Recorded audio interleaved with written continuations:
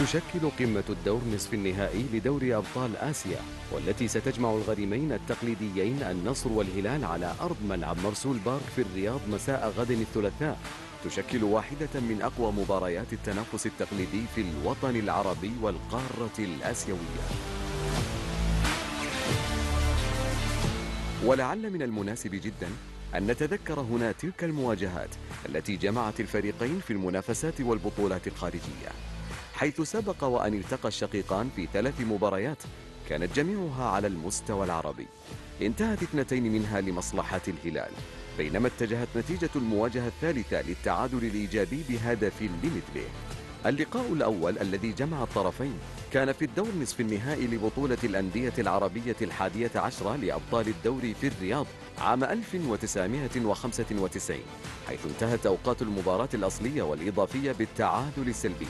ليحتكم الفريقان لضربات الترجيح التي ابتسمت في نهاية الأمر للهلال بأربعة أهداف الاثنين أما ثاني المواجهات فكانت في نهائي بطولة الأندية العربية الحادية عشرة لأبطال الكؤوس في الرياض عام 2000 وتمكن الهلال يومها من حسم المباراة لصالحه بهدفين لهدف. انتهت أشواط المباراة الأصلية بالتعادل الإيجابي بهدف لمثله.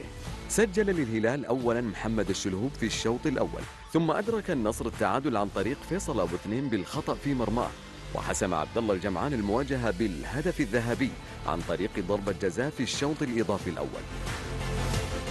المباراة الثالثة كانت في بطولة النخبة العربية السابعة التي أقيمت بضيافة فريق الجيش السوري عام 2001 وانتهت بالتعادل الإيجابي بهدف لمثله. سجل للنصر لاعبه التونسي مهدي بن سليمان وتعادل للهلال البرازيلي روني.